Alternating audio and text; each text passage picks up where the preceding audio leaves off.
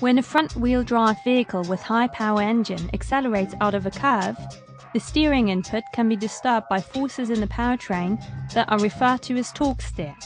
As a result, during sporty driving on winding roads, it may be difficult to keep the vehicle in its lane and dangerous situations with oncoming traffic may occur. In the new Ford Focus RS, torque steer is eliminated to a large extent by an innovative development in suspension technology called Revo Knuckle. Even during sporty driving, the Focus RS maintains its balance while exhibiting exceptional agility. This not only increases the safety factor, but also makes the vehicle more fun to drive. Uneven road surfaces no longer cause problems. Whenever the RS has less grip on one side or is driven on lane grooves, the Revo knuckle compensates the asymmetric power distribution and inhibits torque steer. Without the Revo knuckle, the driver constantly has to counter steer in curves or on uneven surfaces. With the Revo knuckle, the driver's effort to keep the vehicle fully under control is very low.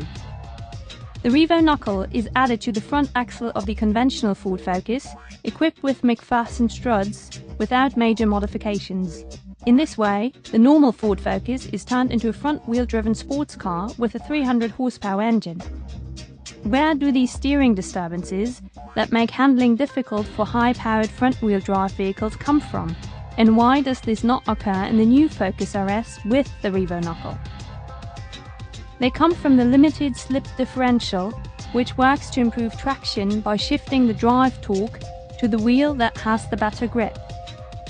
By significantly reducing the distance between the wheel center and the steering axis, the Revo knuckle in the Focus RS works to reduce the effects of high, one-sided traction forces, which lead to unwanted steering disturbances.